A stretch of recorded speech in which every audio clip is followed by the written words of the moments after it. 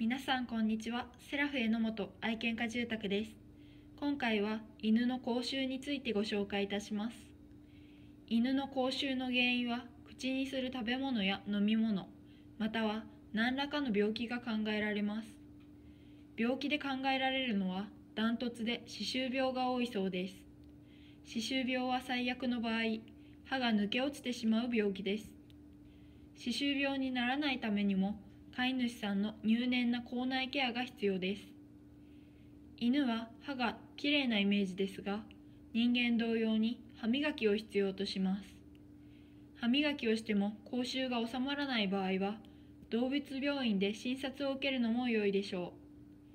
以上で犬の口臭についてのご紹介を終わります。愛犬との暮らしに関する些細なご相談から承ります。お気軽にご相談ください。